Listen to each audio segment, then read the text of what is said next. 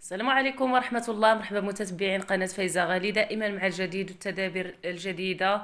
غادي ندير معكم اليوم واحد التدابير اللي هي رائعة غادي تنفعكم في المطبخ ديالكم وفي الحياة اليومية ديالكم. فبقاو معايا حتى لآخر الفيديو وما تنساوش تشاركوا آه، الفيديو مع الأحباب والعائلة اللي عجبكم أكيد. ونتمنى لكم إن شاء الله فرجة ممتعة.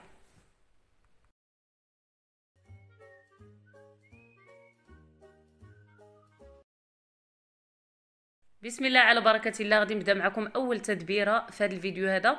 آه بالنسبة للكوكوط ديالنا كيف ما كتعرفوا آه في المطبخ المغربي اولا في المطابخ بصفة عامة كتكون هي اللي آه كتخدم بزاف بزاف آه في الطبخ والطهي ودائما كنلقاو معها مشاكل اللي هي كثيرة ومتعددة أيضا متنوعة. فاليوم غادي إن شاء الله نشارك معكم المشكل ديال آه الجلدة ديال الكوكوط. غالب الأحيان اولا كاينة واحد النوعية كنبقى نطيبوا بها وكطيح لينا هذيك الجلدة. آه يعني كتعذبنا بزاف. فكتكون جلدة إما تجمعات إما آه، جودة اللي ما مزياناش فغادي نشارك معكم واحد التدبيرة اللي دائما غادي تخلي الجلدة ديالكم شادة لكم ما كتحيدش. دائما كنوضعوها في المجمد. أي جلدة ديال الكوكوط كطيح لكم بلاصتها فما عليكم إلا تردوها وديروا هاد التدبيرة هذه تخليوها في الكوكوط تقريبا هكا واحد نصف ساعة ولا.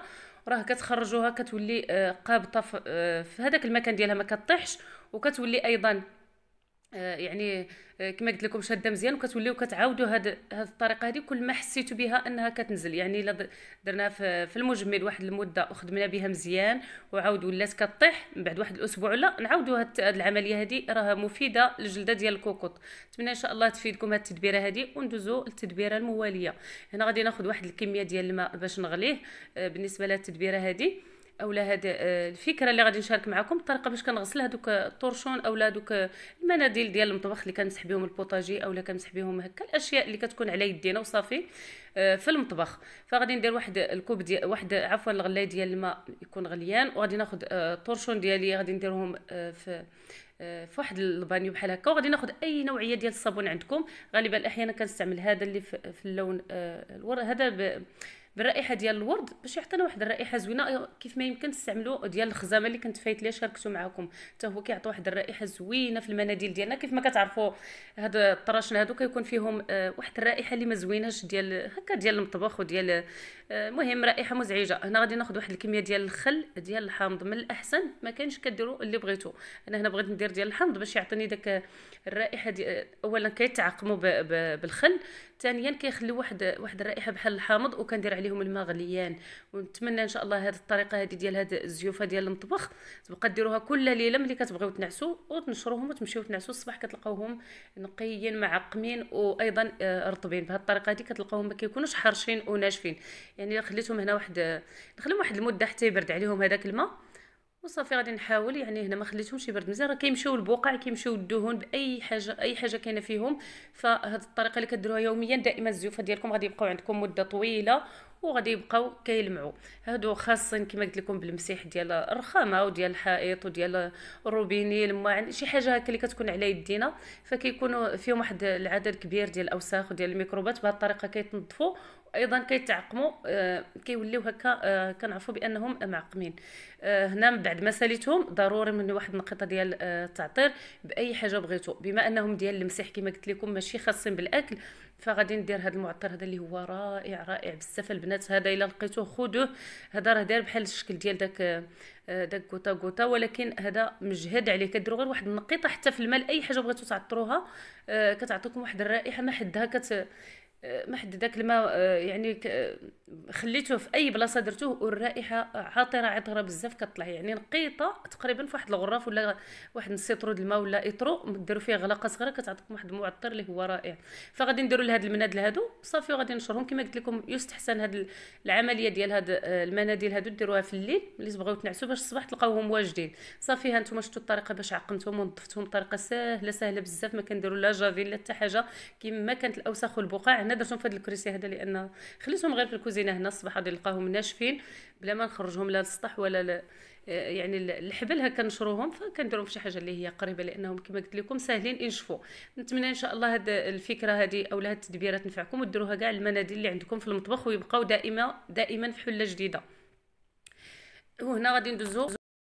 بالنسبة لهاد التدبيرة هذه آه، ديال الإبزار اولا العطرية بصفة عامة في هذا الوقت ديال البرد كتكون فيها الرطوبة وكيوليو فيها كويرات هكا ولا كتكور لينا العطرية ديالنا فغادي آه، نتوما شوفوا هذا راه البزار. آه، كيبقى كما قلت لكم ملي كنخويه في قرعه هكا كنعمرو إلا بقى مدة طويلة مع البخار ديال الكوزينة والجو بارد راه كدير دوك الكويرات أنه فيه الرطوبة.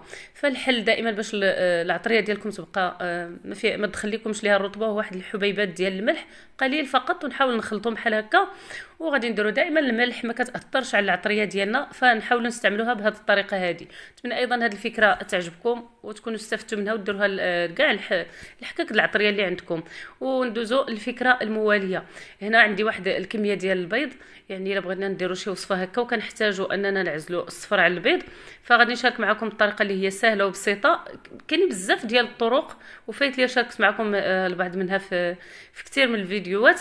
واليوم غادي نشارك معكم هاد الطريقة هذه ديال الصفاية اللي كنخويو البيضة في في هذا هاد المغرفة ولا هاد هاد الصفاية هذه وراه كينزل داك البيض بسو يعني بسهولة وكيبقى الصفر ديالكم صحيح ما كيوقع ليه حتى حاجة. إلا بغيتو ديروا شي وصفة هكا اللي كتفرقوا البيض على الأصفر اولا كتستعملوا الأصفر بوحدو اولا البيض المهم كيبقى لكم شنو بغيتو ديروا بهذه الوصفة. فهذه هي الطريقة كنديروه في هذا الصفايه هذا وكينزل بهذا الشكل هذا. فكنبقى كنستمر على هذه الطريقة هذه آه، حتى كت... والبنات هذا راه البيض البلدي دائما كيكون لاصق هو راه ماشي بحال البيض الرومي أما إلا استعملتو البيض الرومي راه كينزل بسرعة بسرعة يعني ما, كت... ما كتحتاجوش كاع تحركوه ولا تسناوه شوية. فنتمنى إن شاء الله تكون حتى هذه الفكرة هذه مفيدة لكم باش تفرقوا البيض مع مع الأصفر بهذه الصفاية اولا هذه المغرفة العجيبة هذه. آه، ندوزو إن شاء الله للتدبيرة الموالية. ديالنا الكيس ديال الحمام المغربي معروف ملي كنشريوه آه، المشكل ديالو أنه ملي كنستعملوه أول مرة كيتجمع لينا وكيولي صغير. فالحل غادي نعطيه لكم اليوم كناخذوا كيس جديد وكنوضعوه ثلاثة ديال الساعات اولا اربعة كيف ما يمكن تحطوه ليلة كاملة في المجمد. ضروري نحطوه في المجمد هكا باش يبقى معنا مدة طويلة وما يصغرش وما يتكمش وما يوليش من بعد ما خرجتو من المجمد. صافي كديروه في الماء عادي الماء بارد اولا سخون راه ما كيتغيرش ما كيتكمش ما كيتجمعش في الحجم ديالو لأن المشكل اللي عندنا كنشريوه واحد المقاس اللي هو كبير وملي كنحطوه في الماء كيتجمع كيولي المقاس ديالو صغير ما كتبغيش اليد ديالنا تدخل. فبهذه الطريقة هذه كيبقى الكيس ديالكم عندكم مدة طويلة وكيكون داك الثوب ديالو آه، حرش باش كيساعدنا على آه، على الحك ديال الجسم اولا الغسيل. وكيبقى في الحجم ديالو الأصلي فاش شريناه فملي تجيبوا الكيس مباشرة ديروه في في ديروه في المجمد واحد ثلاثة الساعات اولا ليلة كاملة اولا يمكن تحطوه أي مدة بغيتو في المجمد ونتمنى دائما يعجبكم هاد التدابير وتلقاو فيهم ولو تدبيرة آه، تكون آه، فادتكم اولا واقفين عليها وجربتوها. نتمنى إن شاء الله تنجح معكم وكتبوا لي في التعاليق آه، التدابير اللي كيعجبوكم. أيضا الوصفات اللي كتبغيو اولا الأشياء اللي كتبغيو بحال هكا في القناة. وإن شاء الله غادي نطبقها لكم. وصلنا لنهاية الفيديو. إلى اللقاء.